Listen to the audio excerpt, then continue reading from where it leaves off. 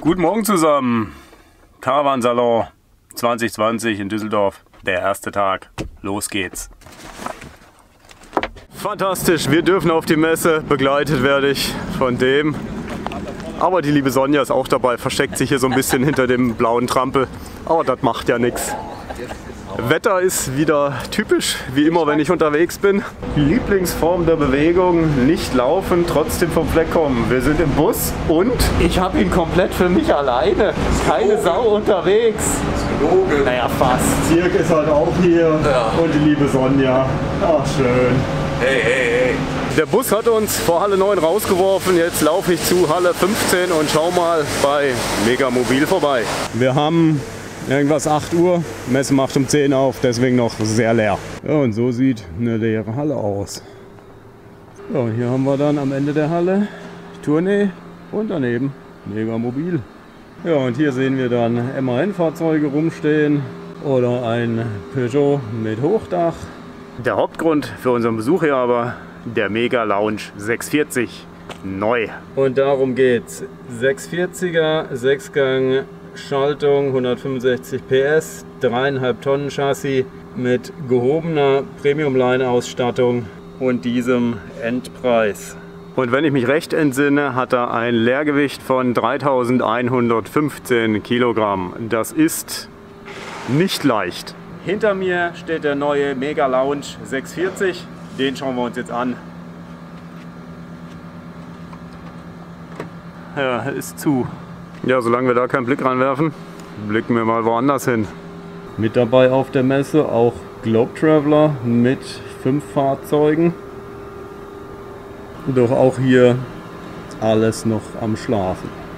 Ja, wir sind hier in der östlich angehauchten Ecke, denn auch Robeta ist hier gleich ums Eck mit zwei Fahrzeugen. Auch da noch nichts los. Und die Freunde von Nordvan, auch hier spezialisiert auf, ihr seht, VW-Ausbau. Und der hier sieht doch nicht mal nur von der Farbe interessant aus, sondern auch das, was er auf dem Dach hat, habe ich jetzt so auch noch nicht häufig gesehen. Hochdach. Hier als Allrad-Variante. Damit kommt man also auch ein bisschen tiefer in den Dreck. Und das Ganze sieht eigentlich recht harmonisch aus, finde ich. Ja, und bei Nordvan wachsen die Pflanzen sogar in den Vans. Ich hoffe, ihr seht das. Der ganze Van voll Grünzeug. Aber mit dem Aufstelldach haben die Pflanzen natürlich auch genug Platz, um zu wachsen. Und dann haben wir hier Ballcamp. Gucken wir mal, ob da einer ist. Nein, da ist keiner. Da stehen nur noch die Reste von gestern Abend rum. Bierflasche. Das sieht mir irgendwie nach Gin Tonic aus.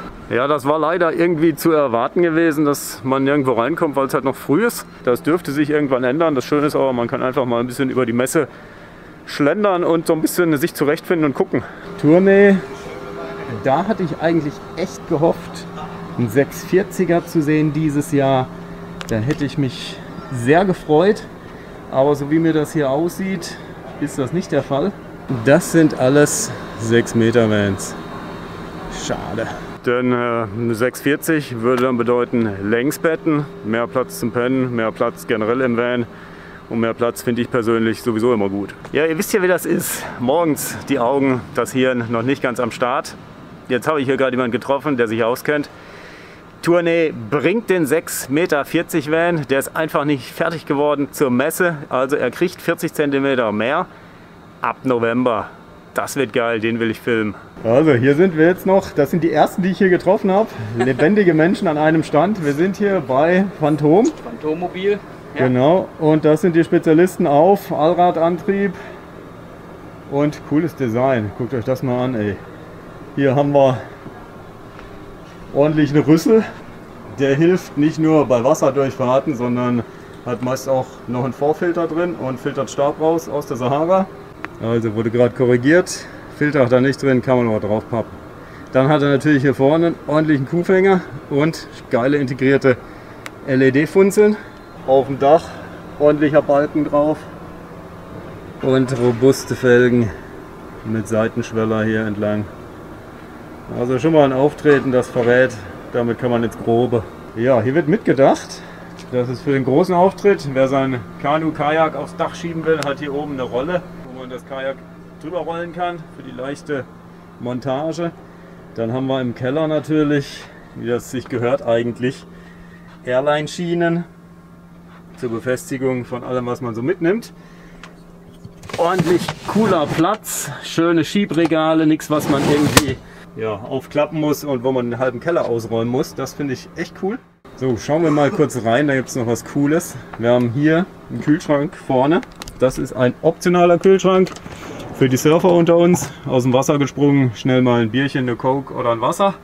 Da brauchst du nicht durch den ganzen Van rennen, denn der eigentliche Kühlschrank, der versteckt sich unter einem breiten Bett. Wir gehen also mal rein.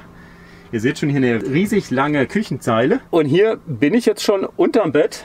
Über mir das Lattenrost, das klappt über meinem Hirn zu, wenn ich hier aufpasse. Ist aber befestigt natürlich. Und hier der Kühlschrank. Hat eine Größe, ja, für ein, zwei Personen geht das so gerade. Das heißt also ein Van mit zwei Kühlschranken. Kühlschränken. Dieser hier ist Standard unterm Bett, der andere optional. Das Bett mit 1,60 Breite, super in der Länge, mit 1,88 darf man einfach nicht zu groß sein. Auch die Dinette bietet gut Platz. Man kann hier schön sitzen, hat für den Tisch breit genug, um hier zu zweit gut zu essen. Und vorne dann das Cockpit, VW-typisch, gibt keine Rätsel auf. Das war Phantom. Dazu gibt es ein separates Video. Der hat mir gut gefallen, ist ein tolles Konzept. Und jetzt gucken wir mal weiter. Mal gucken nochmal, ob bei Mega Mobil schon einer aus dem Bett gefallen ist. Nicht wirklich. Da ist immer noch alles Schlafmodus. Ja, und in der gleichen Halle haben wir Karmann. Schauen wir mal da kurz vorbei. Und da steht schon was Interessantes für die Hubbett- und Motorradfraktion. Wir gucken uns hier aber nicht das Bild an, denn zufällig steht der Van auch hier. Und da seht ihr schon, worum es geht. Riffelblech, Auffahrrampe im gleichen Design, die dabei ist. Hier geht es um Hubbett und viel Stauraum für schweres Gerät. Das Hubbett läuft elektrisch, 250 Kilo Maximalbelastung und dann fährt das hoch und runter. Weiß und dunkles Holz dominiert hier den Van und das Licht eben. Und ein großzügiges Bad ist mit am Start. Wir sind hier halt in dem 640er, da merkt man wieder, ein bisschen mehr Platz überall. So viel mal zu dem neuen Karmann Davis 630. Gucken wir mal weiter, was es sonst noch so gibt. Ja, da tritt mich doch einer an Elch. Karmann mit Aufstelldach. Aufstelldächer dieses Jahr irgendwie so ein bisschen bei allen zu sehen. Knaus, Weinsberg haben auch neue und noch diverse andere. Man versucht den Lebensraum zu erweitern. Aber auch bei sowas sei immer gesagt und im Hinterkopf zu behalten, ein Dach wiegt circa plus minus 100 Kilo. Die gehen auf das Gesamtgewicht drauf. Bei dreieinhalb Tonnen sinkt die Masse der Zuladung dadurch deutlich. Und wir schauen mal rein hier. Und da grinst uns als erstes natürlich eine Leiter. Aua! oh, Kopf! Dann der Hölle, wie oft bin ich schon in die Autos eingestiegen? Oh, das ist mal eine üble Kante hier. Also steigen wir mal ein, gehen wir rein. Steht uns schon die Leiter im Weg und lädt uns ein, hoch zu klettern. Ja, leider war nicht gescheit eingesteckt oben. Jetzt ist der Tisch nicht mehr ganz so im Weg. Wir können also mal die Leiter erklimmen und treffen dann hier auf viel Platz. Und vor allem einen schönen Ausblick von oben. Das ist halt das Coole, wenn man dann oben liegt, sitzt oder schläft. Morgens der Blick über alle. Ja, so wird ein Van, der eigentlich 6 Meter ist und für zwei Leute hinten Querbett hat, plötzlich ein Van für vier Leute, denn zwei pennen oben. Das geht Frühling, Sommer, Herbst wahrscheinlich gut. Im Winter könnte ich mir aber vorstellen, bisschen kühl. Also ich weiß jetzt nicht, ob das so bleibt, aber darunter ist das nackte Dach. Da ist keine Unterlage, nix. Ich hoffe, das bleibt nicht so. Ansonsten großzügige Dinettbank, Küchenzeile, schön gemacht. Das Design ist eigentlich ganz ansprechend hier. Badezimmer, geräumig für einen 6 Meter Van. Schön Platz auch zum Duschen. Und im Heck Querbetten.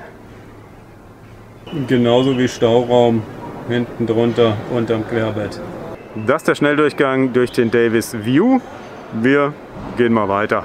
Ja, da bin ich immer noch bei Karmann und stolper jetzt über den Davis 620, das Sondermodell. Den gibt es mit Top-Ausstattung mit riesen Preisvorteil für unter 50k Euro. Ja, wenn man in den 620 mal reingeht, dann sieht man hier, der hat im Ausstellungsfahrzeug die Style-Ausstattung, die ist nicht drin leider. Aber vorne ein Fenster raus wäre dann dabei. Also die haben ja leider nicht das 1 zu 1 Fahrzeug stehen. Aber ansonsten ist das sicherlich ein Van, den man sich mal anschauen sollte, wenn man einen 640er sucht mit Längsbetten, Festbad und grundsätzlich ordentlich Platz. Das Style-Paket, also mit diesem LED-Ambiente-Licht, das gibt es optional aber noch dazu zu kaufen, ist aber in den 50.000 nicht drin. Kurzer Blick ins Bad, das haben wir jetzt auch schon in anderen Fahrzeugen gesehen. Das ist überall verbaut und gefällt mir persönlich ganz gut.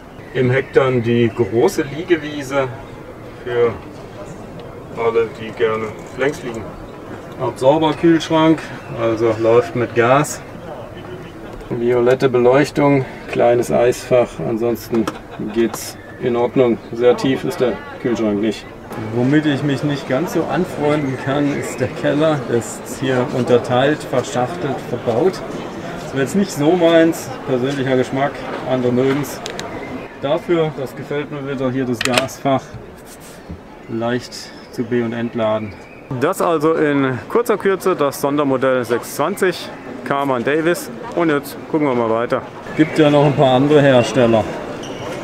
Ja, doch nochmal bei Carman hängen geblieben. 4x4 zieht immer. Und bei 4x4, da sehen wir einen, den wir gestern schon gesehen haben. Tino, schwer beschäftigt mit Katalogen. Servus Tino. Na, Geht's gut? na klar. Wunderschön. Und das hier ist nämlich, ich sag's mal, sein Reich. 4x4, er fährt auch ein, fährt damit durch Island und durch Bäche und Flüsse. Das ist seiner hier am Strand stehen. Er stand auch schon mal in Island am Strand und hatte ein Problem. Das zeigt er in seinen tollen YouTube-Videos. Und dazu kommt, dass er sich mit Technik, Elektronik, Elektrik auskennt und auch selber schraubt und diesen Service anderen anbietet. Der Dexter 560 4x4, ich habe den schon mal gefilmt. Ein Fahrzeug mit Allradantrieb, sequenzieller Steuerung, 6 Meter und Heckbett. Ein paar Neuerungen, so ist zum Beispiel die Außendusche jetzt hier vorne direkt am Eingang. Die Küchenzeile wird verlängert. Das bedeutet, man hat ein bisschen mehr Platz zum Schnipseln. Das ist sehr angenehm. Der Durchgang aber immer noch breit genug, um da entspannt reinzulaufen. Das machen wir jetzt. Sehen auch, dass hier vorne das Fach anders aussieht, abgerundeter. Vorne über dem Cockpit gibt es kein Fach, da gibt es nur Taschen, um Zeug zu verstauen. Küchenzeile gefällt mir jetzt deutlich besser. Zwei Gaskocher natürlich und ein Wasserhahn, wobei es vertauscht ist. Das sieht man auch nicht so häufig, dass erst das Waschbecken kommt und dann die Gasbrenner, mal was anderes. Hier haben wir noch neu ein kleines Gewürzregal. Auch das Bad wurde in meinen Augen positiv angepasst, denn es gibt jetzt auch hier die Abtrennung zu Waschbecken und WC. Es braucht also keinen Duschvorhang, sondern man duscht hier einfach mit geschlossener Tür linksseitig. Leider nur ein Dachfenster und kein seitliches Fenster. Und für ein 6 Meter Van ist das mal richtig Platz zum Duschen. Also da stößt du nirgendwo an, wenn du so groß bist und breit bist wie ich. 1,80 und das seht ihr ja. Das macht's echt angenehm. Das Waschbecken klappbar und dann kann man sich auch auf den Thron setzen und hat genug Platz hier. Im Bad auch schön die Schiebetürlösung, die ist schön aufgeräumt, verstaut und nimmt vor allem im Gang keinen Platz weg. Hinten im Heck, im Querbett, ist der Hängeschrank hier rechts ein bisschen schlanker geworden. So hat man einfach im Beinbereich mehr Platz und kann auch mal den Kopf wenden, von der linken auf die rechte Seite, falls man schräg steht. Interessante Neuerungen, die sicherlich Sinn machen und preislich sicher ein attraktives Fahrzeug mit 4x4 und dann noch on top die Messeaktion. 5 Jahre Garantie aufs Neufahrzeug, das kriegt man auch nicht überall, finde ich gut. So und jetzt gucken wir wirklich mal, ob es noch andere Hersteller gibt. Also, wir verlassen Karmann jetzt definitiv und laufen mal woanders hin. Ja, und ihr seht schon, wir haben ja noch was vorgehabt. Mega mobil müssen wir noch. Gucken wir mal, ob jetzt was los ist. Sieht belebt aus. Geht auf 11 Uhr zu. Und bei Mega Mobil geht es genau um den hier. Mega Lounge 640 Neuheit. Vorhin standen wir vor verschlossener Tür, jetzt ist die Tür auf. Aber der Van ist belegt. Wir können nicht rein. Wir gehen mal rein in das gute Stück und ihr seht schon, irgendwie alles anders bei Mega Mobil. Das Bad am Eingang, das kennen wir. Schön Platz drin. Und wenn man dann nach hinten schaut, wird es richtig cool. Eine tolle Sitzgruppe, richtig viel Platz. Ja, und da sitzt man hier wie der König. Ist das cool? Ich finde ja Hecksitzgruppen generell eine tolle Sache. Allerdings ist dann natürlich immer die Frage, wo schläft man denn dann? Hat der vorne ein Hubbett oder wie geht das? Das Thema Schlafen zeige ich jetzt, wie das geht. Die legen wir um und dann drücken wir mal einfach, Einfach ein bisschen drauf. per Druck runter, okay. Dann legen wir die Kiste mal auf den Tisch. Und dann senken wir ab und ich gehe mal aus dem Bild. Ui, das geht aber flott. Oberschränke, da sind drei, auf jeder Seite also sechs. Ja. Und hier oben sind dann nochmal sechs. Wow, viel Stauplatz also. Genau, so, Bett ist unten. Ein riesiges Bett. Wir sind also hier bei 2 Meter Liegefläche, also sogar über 2 Metern und bei einer Breite von 185 Zentimeter, also fantastisch. Und der Einstieg ins Bett wird dann noch durch die herausziehbare Trittstufe erleichtert. Das ist cool und einfach und simpel und stabil. Ja. Hinter der Sitzgruppe gibt es dann auch sogar noch Stauraum. Und natürlich, wie man das bei Megamobil kennt, alles schön verkleidet, gut isoliert, gut verarbeitet. Und hier nochmal von außen der Blick rein in die Sitzgruppe. Ich finde sie echt cool. Ja, das ist der schnelle Durchgang durch den Lounge 640 von Megamobil und wir ziehen mal weiter und gucken, was uns noch über den Weg geht. Aber erst müssen wir hier noch unsere Standmarke abgeben. So, erledigt, weiter. Ja, guck an, da steht man mal bei Lastrada rum und wen trifft man hier? Das Avanti und Tour Team. Was treibt ihr denn hier? Lass deine Maske auf. Ja. Er ist wieder schüchtern heute, er geht aus dem Bild. Ja, wir erreichen wieder Globe Traveler. Da waren wir heute Morgen schon. Da war bedeutend weniger los und alles zu. Und schon wieder die zwei. Ja. Ist ja schlimm. Wenn du uns nachläufst, Die was soll man dann Zeit lauft ihr vor mir her. Kann ich ja nichts. Nicht nur das Avanti-Team steht hier rum. Bei Globe Traveler gibt es einen neuen Fahrradträger. Da stellst du einfach das Bike drauf und schiebst es dann rein. Komm Dirk, schieb mal rein. Mach dich, mach dich. Achso, den Fahrrad. Ja, Ja, Entschuldigung, kannst du da das hier ist kinderfreundliches TV. arretiert? Dirk kriegt das wieder nicht hin. Oh Mann, Ja, dafür haben wir doch, dafür haben wir doch hier einen Profi. Profi. Erstmal muss man die Arretierung lösen. Boah, Uh. das ging aber mit dem. Das ging aber haarscharf. So, und dann ist das Bike verschafft, Diebstahl gesichert, Umwelteinflüsse kommen nicht mehr dran. Das ist eine geile Lösung. Und man hat immer noch gut Platz hier für anderes Zeug. Genau, für dich da reinzustellen und die Tür zuzumachen. Dirk will mich loswerden. Ich steig mal ein. Ja, es wird ja auch mal Zeit, dass hier bei Travel Camping mal ein vernünftiger Kameramann hier So. Aber endlich mal Ruhe vor denen. Was mache ich mit den beiden in deinem Auto? Die musst du adoptieren. Nee, wann werden die gefüttert? Aber die holen sich das selber Okay, bei dir. klar. Ciao. Tschüss. Co-Pilot, du musst mich abholen. Dirk hat mich eingesperrt. Du, das ist kein Telefon. Oh, Das ist eine Dusche. scheiße. Äh, Oh Mann, wir machen Dann lass mich hier rein. Nein! Ja, scheiß GoPro, oder? Meine, meine läuft schon seit einer Stunde. Hallo. Er kämpft mit seiner Hallo, GoPro 8, ne? Ist ja was ganz Neues. Ich weiß gar nicht. So, dieser, jetzt sind wir gerade still, einen kleinen Moment. Dieser Kaffee wird Ihnen präsentiert vom Autohaus Markhütter und Globe Traveler. Wir sagen vielen, vielen lieben Dank, Susanne, für den Kaffee. You're welcome. Wir stoßen an auf gute Geschäfte bei Globe Traveler, sagen Danke für den Kaffee Boah, ist das heiß. und Prost. Und der memmt schon wieder rum, weil der Kaffee heiß ist. Und jetzt erklären wir mal, was wir mit Nikos machen. Wie weit seid ihr jetzt? Die Kamera aus? Ja. Wir mal aus. Wir müssen mal kurz ausmachen. Ja, siehe da, wir sind weg von Avanti und Tour und kommen jetzt bei La Strada vorbei. Da steht der Nova EB rum. Da gehen wir aber nicht rein. Ansonsten stehen hier hauptsächlich Fahrzeuge mit Hochdach. Dafür ist La Strada wohl bekannt, sagte mir ein befreundeter YouTuber. Der sich irgendwie mit Lastrada auskennt. Normal hohe Fahrzeuge gibt es bisher mit Querbetten auf 6 Metern oder halt irgendwie auf Krawall gebürstet. Hier der Regent. Jetzt aber, und das ist neu, Lastrada mit Normalhöhe auf 6,40 mit Längsbetten hinten. Der Avanti E. Da schauen wir doch mal kurz rein, oder? Die Dinette sieht normal aus, ist jetzt nichts, was irgendwie ins Auge gesticht. Ja, Küchenzeile ohne viel Arbeitsfläche.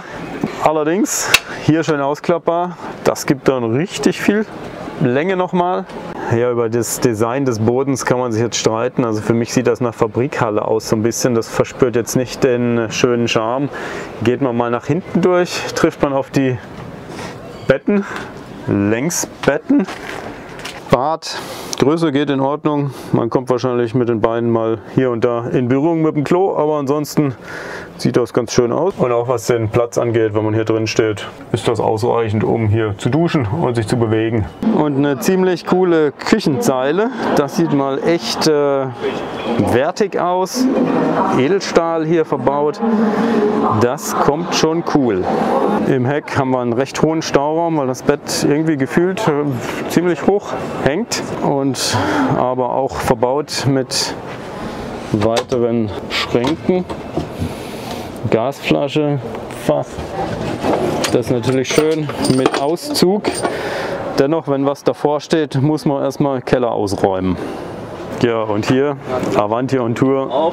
Guckt in jede Schublade. Er kann sogar gerade aufrecht stehen, obwohl das kein Hochdach ist. Ich höre ihn wieder schimpfen über Travel Camping Living. Das ist wirklich schlimm. So sieht Dirk aus, wenn er eine tolle Kochstelle mit Edelstahl sieht. Ja, nicht nur mit Edelstahl, lieber Kai, sondern mit Gusseisen.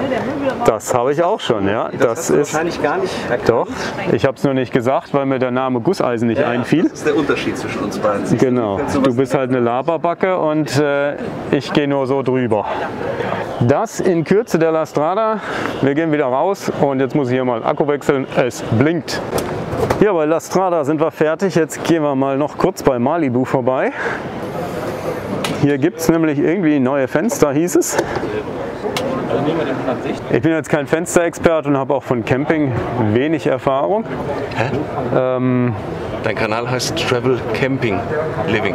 oh, echt? Oh, hab ich wohl, da habe ich wohl was falsch verstanden. Irgendwas falsch verstanden. Aber jetzt gucken wir mal auf Fenster. Es geht hier nicht um meine Unwissenheit, sondern um Fenster. Das sieht mir hier eigentlich aus wie ein normales vorgehängtes Fenster. Jetzt sagt Malibu, das sind neue Fenster. Oder neue Einbauart vielleicht eher. Rahmen ist neu, ne? Denn äh, wir haben jetzt hier einen Rahmen, den gab es bisher nicht. Den haben sie um das Fenster drum gebaut. Witzigerweise obenrum nicht, sondern nur hier seitlich und dann unten entlang. Was sagt man denn dazu jetzt? Also ich habe was dazu bei Avanti on Tour gesagt und ich möchte es hier ungern wiederholen. Gut, es sieht interessant aus, sage ich mal. Das ist sehr Wo da jetzt der Mehrnutzen ist, hat das eine bessere Isolierung und es ist noch auffälliger. Weiß jetzt ist mir nicht ganz klar. Also hier steht dann auch drauf, um was es geht. Malibu Premium Fenster. Also macht euch eure eigene Meinung. Aber ein Fenster wird in meinen Augen nicht Premium, nur weil ich einen Rahmen drum baue. Also halten wir nochmal fest, das sind eigentlich vorgehängte Fenster, um die ein Rahmen gebaut wird. Also da lobe ich mir meine schönen integrierten in die Karosseriefenster. Ja, und die Rahmen, diese tollen Rahmenfenster, Premiumfenster, gibt es auch nur für Seite. Hinten sehen die weiterhin stinknormal wie vorgehängte Fenster aus, weil ist ja kein Platz für einen Rahmen. Und dann sind sie auch noch komplett durchsichtig, dass einem jeder in der Van glotzt. Und für heute, glaube ich, haben wir genug Maskenluft gearbeitet. Das war's. Wir sind echt durch. Zurück dahin, wo wir heute Morgen gestartet sind. Könnt ihr auch schneller laufen? Das gibt ja einen ewig langen Clip. Die Kamera kann ja nicht so schnell, deswegen machen wir das langsam. 35 Minuten warten wir jetzt hier auf den Bus. Wir hätten schon vier Bier trinken können und uns glücklich vorm Van befinden. Und das ist auch nur ein verfluchter Linienbus. Der da hinten, dreht schon gleich am Rad.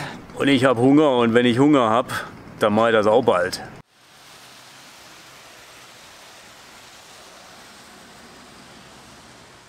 Das war nur der Linienbus. 40 Minuten später. Ein Bus! Oh, dass man sich so über einen Bus freuen kann.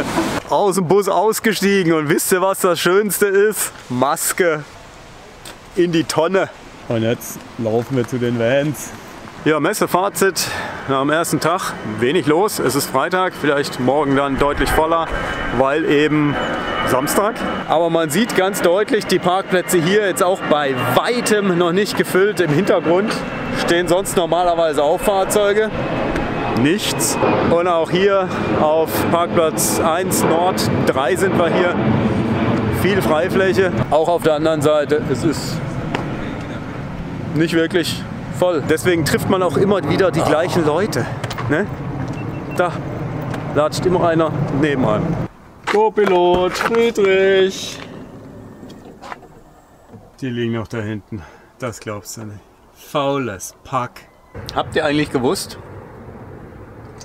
wenn man M&M's isst und dazu Träubli, dann hat das keine Kalorien und ist gesund. Und bei Gott geloben. Das aus, da kommt jetzt die andere. Hier wird gegrillt. Wir ja, haben hier wird wieder alles verbrannt. Das kann doch nicht wahr sein. Das wird alles schon wieder schwarz. Und Ja. der Grill ist schuld. Der Grill ist scheiße. Der wird an einer Stelle total heiß und hier überhaupt nicht. Hm, was ist das für ein Grill? Das ist der für uns neue Safari Chef 2. So ein Dreck.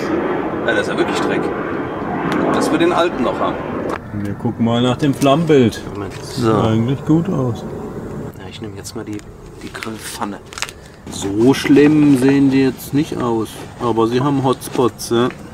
Tja, wir versuchen mal unser Glück mit einer Grillpfanne. Die schwarzen Spots sind noch von dem anderen Aufsatz. Ja, da der. Und die lag direkt daneben, ne? Guck dir das an. Aber sind wir ehrlich, ne? Das überrascht uns jetzt nicht wirklich, dass wir hier schwarze Ware vorgesetzt kriegen. Das wäre ja sonst nicht Dirk Grillen, sondern äh, das müssen wir umbenennen. Und außerdem, ne, der Avanti ist ja auch schwarz und der Humor auch, also passt das ja zur Wurst. Jetzt habe ich, glaube ich, gerade meine Wurst verspielt. Die perfekte Wurst. Leicht angeschwärzt, immerhin beidseitig. Das ist gut für den ausgeglichenen Geschmack. Grillprofi Dirk macht hier sich wieder selbst alle Ehre. Ja. Die Luxusvariante mit Brot. Die Variante für Arme ohne. Dazu leckeren Bautzner Senf. Sehr lecker, Dirk. Gut gekocht. Ja, so langsam wird der Kreis hier größer. Da haben wir eine Nicole oder Nadine oder Yvonne, je nachdem wie ihr wollt. Ah, Nicole reicht. Also den Scherz versteht ihr erst, äh, wenn ihr andere Videos von uns geguckt habt. Birgit und Walter sind hier, Phoenix, Monika ist auch irgendwo, genau. Da, ah, da ist Monika. Hi. Was bringst du da mit da, Nicole? Nadine? Oh. Peanut Butter M&M's. Oh, Kai. Eis. Der guckt auch schon hier, der. Aber du willst es gar nicht, ich kann es Sonja geben, oder? Nein, nein, ich äh, nehme das schon direkt in den Kühlschrank. Äh, ins Gefrierfach natürlich. Dankeschön. Kann auch schön. Lecker. Hier kannst du dir noch ein zweites reintun. Oh, ist ja wie Weihnachten. Geil, danke. So und selbstverständlich die Streuselbrötchenlieferung. Die dürfen ja auch nicht fehlen, die Aachener Streuselbröter. Das Thema Markise nochmal. Unser eins besitzt ja keine. Ne? Zottel hier schön seitlich, ohne Balken. Der Vorteil von einer Markise ist allerdings, vor allem wenn man dann auch clever genug ist, drunter zu sitzen, es scheißt einem kein Vogel auf den Kopf oder aufs T-Shirt. Alles super gut. Denn manch einer, der eine Markise besitzt, wir nennen jetzt mal keine Namen, aber er läuft jetzt hier gerade im Hintergrund durchs Bild, der ist so clever, der setzt sich nicht unter seine eigene Markise. Der sitzt halt unter Baum und dann hat es da Tauben und die Tauben, was machen die? Die werfen Eicheln vom Baum. Und was machen die noch? Scheiße. heiße wie voll. Genau, sie scheiße ihm aufs frisch angezogene T-Shirt. War geil. Ja, toll. Herzhaft gelacht. War super, wir haben gut gelacht hier, ja. Die, die werden schon schwarz, wenn du nur so drauf legst. Seht ihr das? Der andere ist an meinem Grill zugange. Kommt das gut? Hm, Also zumindest ist der Grill hier so schmutzig, dass die Würstchen schon schwarz werden, wenn man so nur drauf legt. Ja, natürlich ist das so, Mann.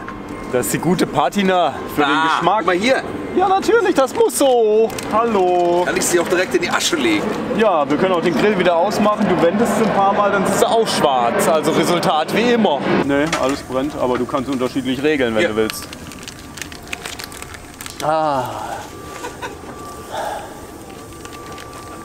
Woher weiß Dirk jetzt wieder, dass ich Nackenschmerzen habe, dass er mir das da hinlegt, dass es kühlt? Das ist so ein netter Mensch. Der Typ, schade wohnt er so weit weg. Ich würde ihn sonst jeden Tag links, Das rechts. nehme ich jetzt als Drohung. Kannst du deine Luxusgrill Also man kann hier ganz klar festhalten, wir haben hervorragend gegrillt. Das geht gar nicht besser. Da ist nichts schwarz. Ein paar schwarze Punkte hat Das muss so sein, dass es ein bisschen knuspert. Der Dirk hat einfach keine Ahnung, aber das ist ja auch jetzt nichts Neues. Also Walter hat perfekt gegrillt. Den kann man brauchen. Würstchen sind fertig. Hier wird wieder von Travel Camping Living wird wieder so viel gelogen. Das sind ja nur wirklich eindeutig schwarze Kohlereste da unten, aber die sind wahrscheinlich noch von dem Grill. Und nicht von der wunderbaren Grillkunst unseres Meisters. Schleim nicht rum. Hör auf, Phoenix. Und wie ist die Wurst? Ehrliche Antwort. Dann haben wir wenigstens beide einen Tee. Hat er gut gemacht, der Walter. Ja, sie ist ein bisschen dunkler geworden, Auf dem punktuell. völlig schmutzigen Grill vom. Am liebsten würde ich sie ihm jetzt wegnehmen. Aber die ist mir zu schwarz, die wollte ich jetzt nicht essen. Jo, das war's für heute. Wieder zurück ins Hotel. Jetzt geht's pennen. 23 Uhr. Wir sind durch. Morgen neuer Tag, neues Glück. Eins noch. Herzlichen Glückwunsch, André, nach Mecklenburg-Vorpommern. Alles Gute zum Geburtstag. Deine Frau Annette hat das organisiert für dich. Und schöne weitere mindestens 50 Jahre gesund und munter hier auf diesem Planeten. In diesem Sinne, Daumen hoch da lassen, wenn es gefallen hat. Wir gehen jetzt pennen. Gute Nacht. Bis zum nächsten Video. Ciao zusammen. Smiling, I keep doing my things before my life is over and my chance just take her wings. Searching for a mission, life's